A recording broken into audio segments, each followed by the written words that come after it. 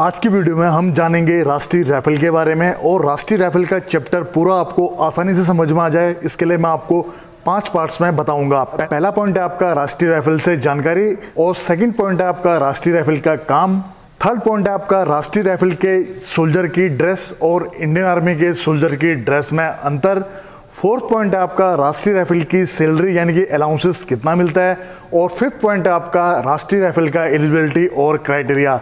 जय हिंद फ्रेंड्स, मैं हूँ आपका साथी भूतपूर्व सैनिक मनोज सिंह और आपका अपने YouTube channel ex army soldier में स्वागत है।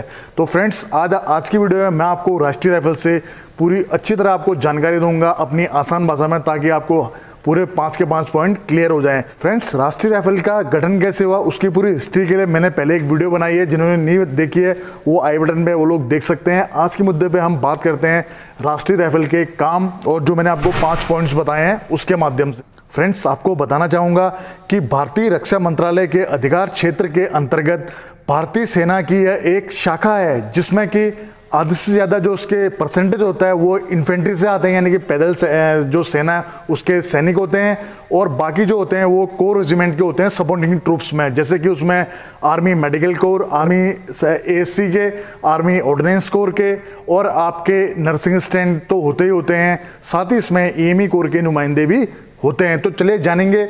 राष्ट्रीय राइफल में इनका काम क्या होता है? तो फ्रेंड्स कि मैं आपको बताते रहता हूँ कि पैरा स्पेशल फोर्स में एक जो एक्टिव रोल होता है, वो होता है आपका सोल्जर जीडी का, यानी कि वही लोग कमांडो की मेन भूमिका निभाते हैं। तो उसी प्रकार राष्ट्रीय राइफल में भी जो मेन काम होता है, अटैकिंग का तो उसमें इन्फेंट्री सोल्जर का काम ज़्यादा होता है, लेकिन यहाँ पर जो सपोर्टिंग ट्रूप्स का भी काम बढ़ जाता है।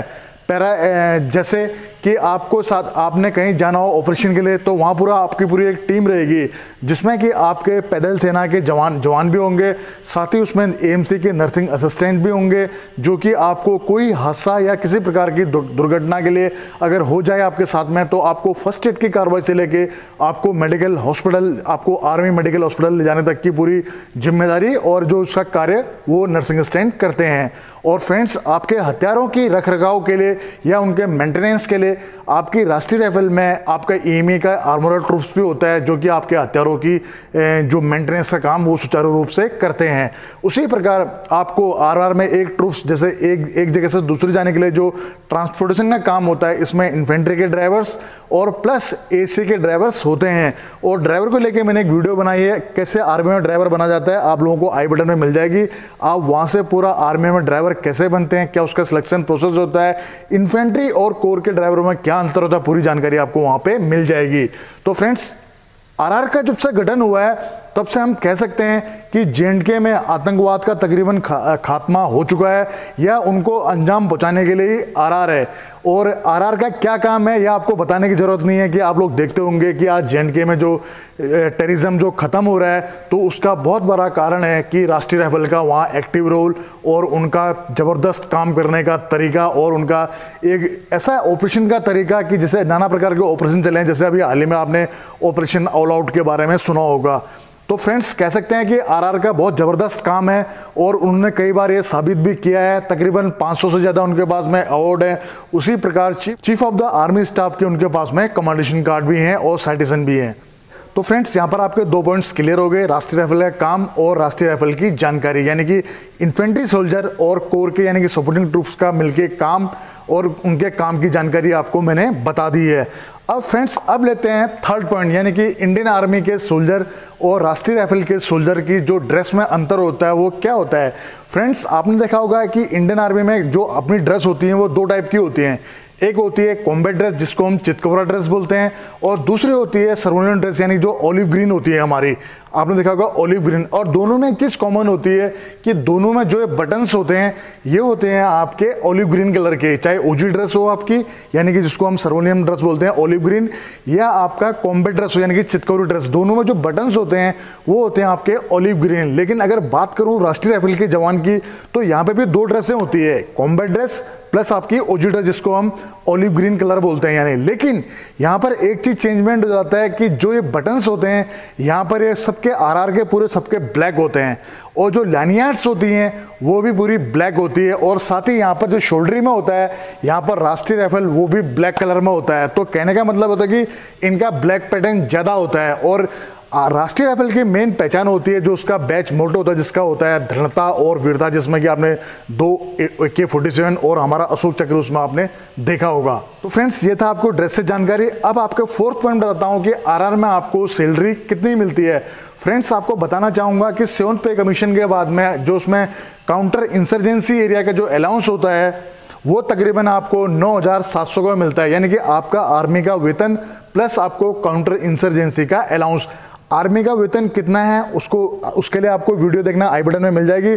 साथ ही आपको एंड स्क्रीन में भी मिल जाएगी और लिंक आपको डिस्क्रिप्शन में भी मिल जाएगा। वहाँ से आप पूरा अपना कैलकुलेशन कर सकते हैं कि आर्मी में एक जवान का वेतन कितना होता है प्लस उसमें काउंटर इंसर्जेंसी का ये आप अलाउंस जोड़ देंगे तो एक राष्ट्रीय राइफल के जवान की आप पेमेंट निकाल सकते हैं।